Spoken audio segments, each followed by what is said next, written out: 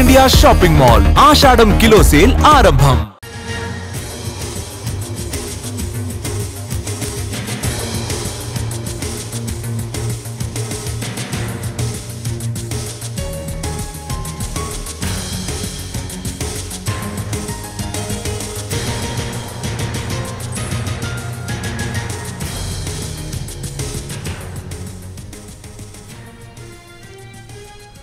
విశాఖలో steel plant పరిరక్షణ కోసం మరోసారి ఉద్యమానికి సిద్ధమవుతోంది పోరాట కమిటీ. ప్రత్యక్ష పోరాటానికి సంబంధించిన షెడ్యూల్ ప్రకటించింది.